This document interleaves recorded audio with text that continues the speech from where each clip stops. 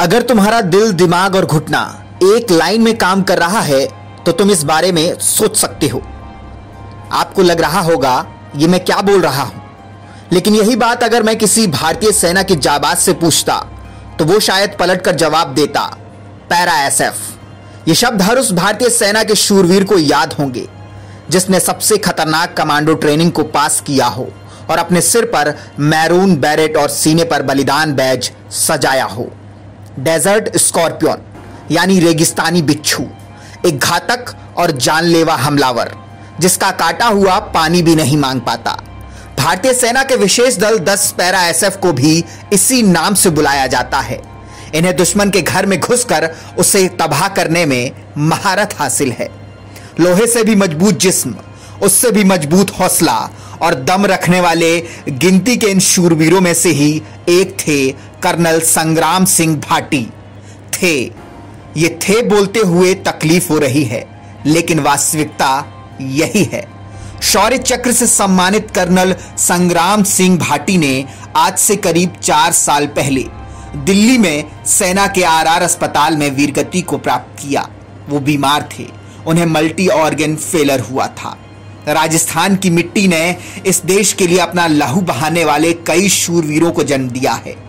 राजस्थान की माटी उनके जन्म से ही नहीं, कर्म और नाम से भी जुड़ी रही। वो रेगिस्तान के असली स्कॉर्पियन थे।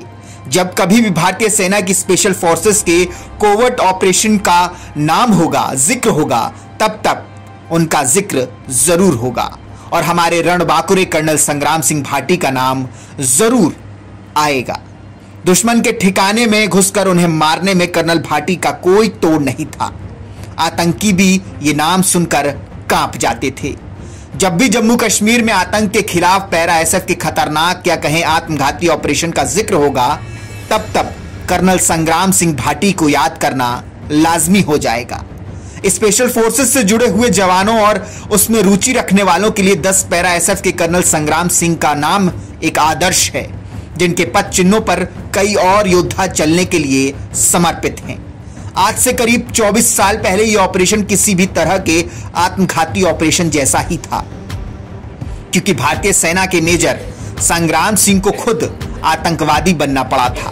बेहद खतरनाक आतंकवादी संगठन लश्कर तैयबा की रीढ़ तोड़ने के लिए किए गए इस ऑपरेशन ने यह साबित भी किया कि भारतीय सेना बड़े से बड़े जिहादियों से उसी के स्टाइल में उससे निपटने की ताकत रखती है। तब के मेजर संग्राम सिंह भाटी और उनके साथी कैप्टन विकास ने ऐसे नौजवानों का रूप धरा जो समाज की मुख्य धारा से अलग हो गए थे, भटक चुके थे। ऐसे ही तो भटके नौजवानों को अपना चारा बनाने वाले आतंकी संगठनों में से एक, लश्कर तोयबा को भी उन जवानों में भारत में तबाही मचाने वाले युवकों वाली संभावनाएँ, वो जज्बात दिखाई दिए।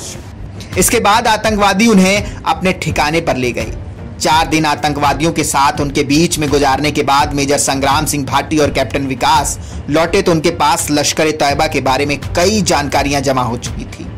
दस पैरा स्पेशल फोर्सेस के मेजर संग्राम सिंह भाटी और कैप्टन विकास चार दिन तक जंगल में लश्कर ए तैयबा के उन आतंकवादियों के साथ उनके ठिकाने पर उन्हीं की तरह रहे।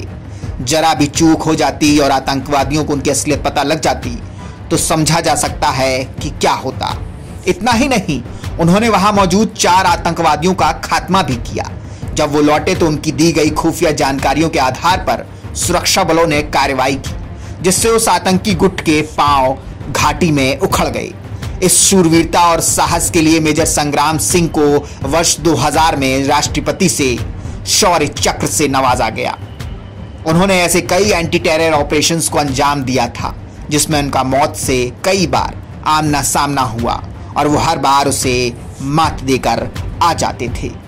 रेगिस्तान के बिच्छू कहलाने वाले स्पेशल फोर्सेस के असली स्कॉर्पियन का शनिवार सैनिक सम्मान के साथ 19 अक्टूबर 2018 को जोधपुर में अंतिम संस्कार किया गया था।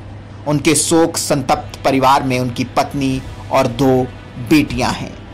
कहते हैं, एक बलिदानी, एक शूरवीर, एक वीर सपूत को सच्ची श्रद्धांजलि यही होती है कि उन्हें हमेशा याद रखा जाए। बहादुरी के किस्सों और कहानियों के ज़रिए। हम अपने सूरवीरों को न भूलेंगे और न अपने आने वाली पीढ़ी को भूलने देंगे। ये शिवालिक जर्नल वचन देता है अपने सभी साथियों को। जय हिंद, जय भारत।